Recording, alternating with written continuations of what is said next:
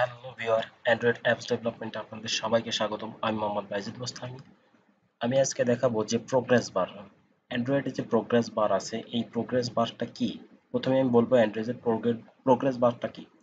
Progress বার হলো কোনো একটি কাজ, কত সময় হলো বা কতটুকু বাকি আছে, এইটুক দেখানোর জন্য ইউজারকে দেখানোর জন্য এই প্রোগ্রেস বার ব্যবহার করা হয়।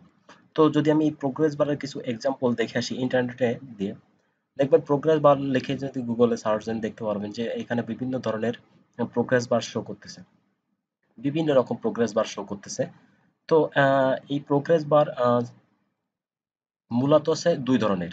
যত রকমই আপনি দেখেন না কেন, মূলত আছে দুই ধরনের। আছে একটা হলো ইনডিটারমিনেট এবং অন্যটি হলো ডিটারমিনেট প্রোগ্রেস বার তো এই এই প্রোগ্রেস বারের মোট দেখতে পাচ্ছেন হরিজন্টাল যে প্রোগ্রেস বারটা আছে, সেটা হলো সেটা হলো টাইটেল থাকে মেসেজ থাকে এবং হরিজন্টাল বারটা থাকে। তো এবং যদি আপনি স্পিনার যে মডেলটা আছে এটা যে প্রোগ্রেস বারটা এটা টাইটেল থাকে মেসেজ থাকে এবং এটা স্টাইল থাকে। কোন স্টাইলটা আপনি ইউজ করতে চাচ্ছেন? তো এই জন্য আমরা সরাসরি প্রোগ্রেস বারের এক্সাম্পল এক্সাম্পলটা সরাসরি দেখার জন্য আমরা অ্যান্ড্রয়েড স্টুডিওতে চলে যাব। অ্যান্ড্রয়েড স্টুডিও থেকে জাস্ট আপনি যদি এখানে একটা প্রোগ্রেস বার লেখেন, একটা progress bar progress bar progress bar app content app কন্টেন্টে রাখলাম আমি এখানে। এখন দেখতে পাচ্ছেন এখানে একটা প্রোগ্রেস বার অটোমেটিক তৈরি হয়েছে। ওরিয়েন্টেশনটা টুকু ওরিয়েন্টেশন ভার্টিক্যাল দেখতে পাচ্ছেন এখানে একটা প্রোগ্রেস বার তৈরি হয়েছে। এখন যদি আমি প্রোগ্রেস বারটা রান করি, তাহলে দেখা যাক। তো দেখতে পাচ্ছেন যে প্রোগ্রেস বারটা আসলে অলরেডি ঘুরতেই আছে ঘুরতেই আছে। এটা কখনো আসলে থামবে না। এই জন্য এর নামটা আছে ইনডিটারমিনেট। মানে কখনো এটা চলতেই থাকবে। এই এই যে ইনডিটারমিনেট, আমরা কোন একটা কাজ কতক্ষণ চলতেছে বা কতক্ষণ চলবে, এটা আসলে বোঝা যায় না যেটা কতক্ষণ চলবে। তো এটা আসলে থামানোর প্রয়োজন আছে। আমরা যদি সাপোজ এই নেক্সট পেজে এই বাটনটাতে যদি আমি ক্লিক করি, কোনো একটা পেজে যেতে চাই স্বাভাবিক কিছু একটু প্রোগ্রেস দেখাল যে কত সময় পরে যাবে বা সামান্য সময় নেবে, এই জন্য আমরা একটা প্রোগ্রেস বার ইউজ করতে পারি বা অন্যান্য যে কোনো কাজের ক্ষেত্রে প্রোগ্রেস বার ইউজ করতে পারি, আপনারা ভালো করে বুঝতে পারবেন। তো এটা কি করে থামানো যায় এবং নিয়ন্ত্রণ করা যায় এবং অন্য পেজে যাওয়ার জন্য এটা কীভাবে ব্যবহার করা যায় সেটা আমি আজকে দেখাবো। সেজন্য দেখানোর জন্য আমরা সাপোজ এই প্রোগ্রেস বারটা আমি এইভাবে এখানে ইউজ না করে প্রোগ্রেস বারটা আমি উঠিয়ে দিচ্ছি। সাপোজ আমি একটা বাটন নিলাম, এই বাটনটা যদি ক্লিক করি তাহলে দেন অন্য একটা পেজে যাবে বা অন্য যে কোনো একটা কাজ করবে। সেই, সেইখানে একটা প্রোগ্রেস দেখাবে যে ইনডিটারমিনেটের যে প্রোগ্রেস বারটা আছে, সেটা দেখাবে এবং জাস্ট তার পরবর্তীতে সেই পরবর্তীতে যে কাজটা করবে। এই জন্য জাস্ট এই বাটনের সাথে আমি জাস্ট দেখতে পাচ্ছি বাটনের টেক্সটটা দিচ্ছি এবং টেক্সটটা অল ক্যাপসটা ফলস করে রাখছি। এখন যদি এই বাটনের সাথে যদি আমি একটা লিসেনার অ্যাড করি অন ক্লিক লিসেনার সাপোজ আমি যদি একটা অন ক্লিক লিসেনার অ্যাড করি।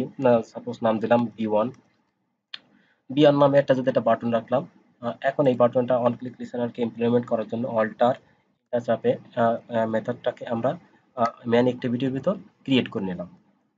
এখন এই মেইন অ্যাক্টিভিটিতে যখন ওই বাটনটাতে ক্লিক দেবে, তখন এই মেইন অ্যাক্টিভিটির মধ্যে আসবে এই মেইন অ্যাক্টিভিটির মধ্যে তখন আসবে এবং একটা নির্দিষ্ট পরিমাণ কাজ করবে।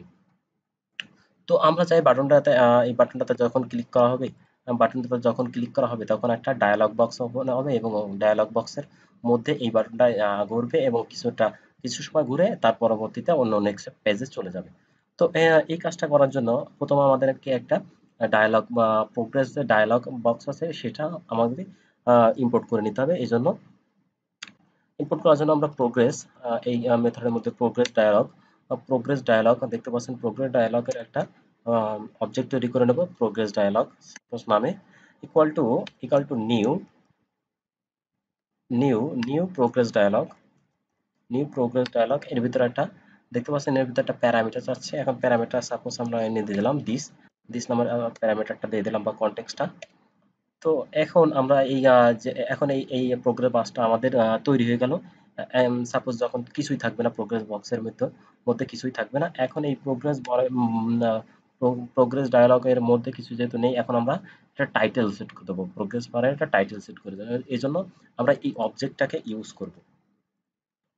অবজেক্ট ইউজ করো dot set set title set set title set title এটা ইউজ করব। এর ভিতরে আমরা কি লিখতে টাইটেলে দেখাতে চাই সেটা শো করব। সাপোজ আমি এখানে লিখলাম যে processing R O C E S S I N G processing এটা প্রোগ্রেস বারে টাইটেলটা দিলাম এটা। এখন প্রোগ্রেস বারে একটা মেসেজ শো করতে চাই। কি মেসেজটা সেখানে শো করবে? সেজন্য আমরা এই প্রোগ্রেস বারে অবজেক্টটা ইউজ করব। প্রোগ্রেস ডায়ালগ বক্সের dot set message set set message set message এই এখানে মেসেজটা আমরা দিয়ে দেবো। এখানে যা খুশি দিতে পারেন আপনারা। সাপোজ আমি দিলাম এখানে প্লিজ ওয়েট দিয়ে দিই।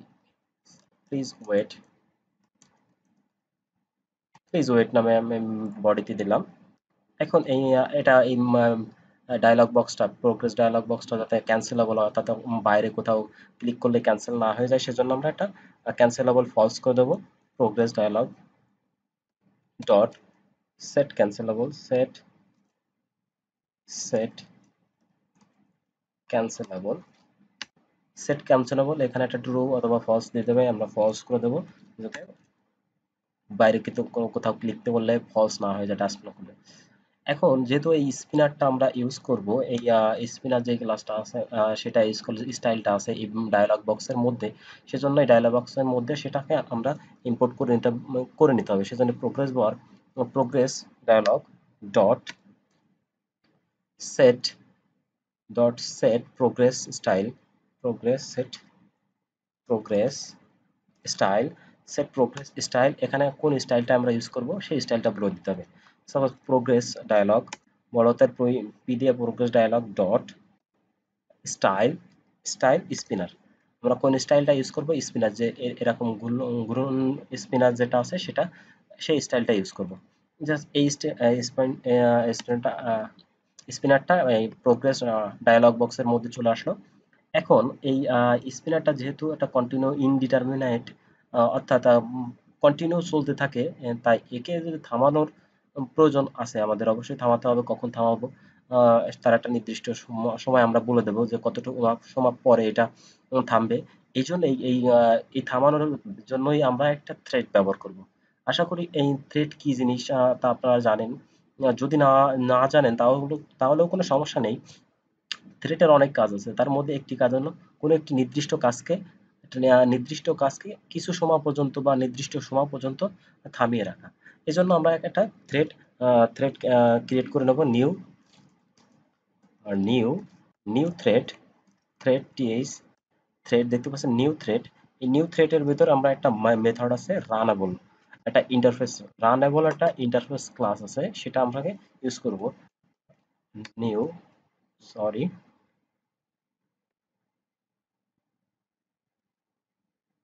new new, runnable runnable. দেখতে পাচ্ছেন, এটা করলে বাই ডিফল্ট ভাবে ভয়েড রান মেথডটা তৈরি আছে এই রানেবল ক্লাসের মধ্যে একটা মেথড আছে রানেবল। এই ক্লাসটা অলরেডি এটা এই যেহেতু ইন্টারফেস এই জন্য এটা ইউজ করা। ইন্টারফেস কি জিনিস আপনারা হয়তো জানেন তো পরবর্তীতে আমি কখনো আলোচনা করব, যদি সময় পাই। তো এখন এই এই রানাবল ক্লাসটাকে এই যে রানাবল ক্লাসটা আমরা তৈরি করলাম এখন এই রানাবল ক্লাসের মধ্যে আমরা আসলে একটা কি কি করব এই এই স্পিনারটাকে থামিয়ে রাখব কতক্ষণ, সেজন্য আমরা ট্রাই ট্রাই ট্রাই কাজ জাস্ট আমি যদি এরকম লিখি যে থ্রেড ডট স্লিপ করে দেবো, আমরা কত সময় পর্যন্ত স্লিপ করবে? জাস্ট আমি যদি বলি দুই হাজার দুই হাজার সেকেন্ড দুই হাজার মিলি সেকেন্ড তাহলে দুই হাজার মিলি সেকেন্ড পর্যন্ত এটা এই স্পিনারটা থেমে থাকবে। তারপরে থেমে থাকবে। সেজন্য এখানে দেখতে পাচ্ছেন এটা ইরর শো করতেছে। এই থ্রেডটাকে আমরা কন্ট্রোল অল্টার এন্টার দিয়ে সারাউন্ডিং ট্রাই ক্যাশ ব্লকের মধ্যে লিখতে হবে। এটা এটা ইরর শো করতে পারে জন্য সেজন্য এটা ট্রাই ক্যাশ ব্লকের মধ্যে আমরা এটা শো করে দিলাম। এখন যখন এইটা দুই সেকেন্ড দুই হাজার মিলি সেকেন্ড সময় পার হবে, তখন আমরা চাচ্ছি যে এই থ্রেডটা শেষ হয়ে যাক। অর্থাৎ স্পিনারের কাজটা শেষ হয়ে যাবে। এজন্য এই প্রোগ্রেস সেট প্রোগ্রেস এই যে প্রোগ্রেস ডায়ালগ বক্স আছে এটাকে আমরা ডিসমিস করে দেবো ডিসমিস ডিসমিস যখন এটা শেষ হয়ে যাবে তখন আমরা এই এই প্রোগ্রেস পার্টটাকে এই যে প্রোগ্রেস এই এই যে রানাবল যে অর্থাৎ থ্রেডটাকে আমরা স্টার্ট করে দেবো। এই রানাবল থ্রেডটাকে স্টার্ট করে দেবো। এর জন্য স্টার্ট করে দেওয়ার জন্য just start dot start start করে দেবো। স্টার্ট করে দিলে প্রথমে এর থ্রেডটাকে স্টার্ট হবে, তারপরে স্টার্ট হয়ে যাওয়ার সাথে সাথে এই থ্রেডটাকে দুই হাজার মিলি সেকেন্ড পর্যন্ত থেমে থাকবে এবং পরবর্তীতে এই যে প্রোগ্রেস ডায়ালগ প্রোগ্রেস ডায়ালগটা আছে, এটা ডিসমিস হয়ে যাবে, ব্যাস। এবং ফাইনালি আমরা এই প্রোগ্রেস ডায়ালগকে প্রোগ্রেস ডায়ালগকে যদি আমরা শো করে দেবো ফাইনালি প্রোগ্রেস ডায়ালগকে আমরা শো করে দেবো progress dialog dot show show method use করে এই শো মেথড ইউজ করে। তো এখন যদি প্রোগ্রামটা রান করি, তাহলে দেখা যাক কেমন হয়। তো দেখতে পাচ্ছেন প্রোগ্রামটা রান করছে। এখন আমরা যদি এই বাটনটাতে ক্লিক করি নেক্সট পেজে যাওয়ার জন্য বা যে কোনো একটা কাজ করার জন্য তাহলে দেখতে পাচ্ছেন এখানে একটা প্রসেসিং হচ্ছে এখানে প্রসেসিং হচ্ছে এবং এখানে একটা মেসেজ শো করতে প্লিজ ওয়েট এবং প্রসেসিং আর স্পিনারটা ঠিক ততক্ষণ আমরা এই দুই হাজার মিলি সেকেন্ড পর্যন্ত, অর্থাৎ দুই সেকেন্ড পর্যন্ত এটা স্থির থাকতেছে। এখানে আপনার ইচ্ছা করলে সময় বাড়িয়ে কমে দিতে পারবেন, কোনো সমস্যা নেই। তো আশা করি বুঝতে পারছেন যে এই স্পিনারটাকে কীভাবে আসলে কন্ট্রোল করা হয়। সো ভিডিওটি ভালো লাগলে অবশ্যই লাইক করবেন এবং সাবস্ক্রাইব করতে ভুলবেন না। ধন্যবাদ, দেখা হবে পরবর্তী টিউটোরিয়ালে নতুন কোনো টপিক নিয়ে।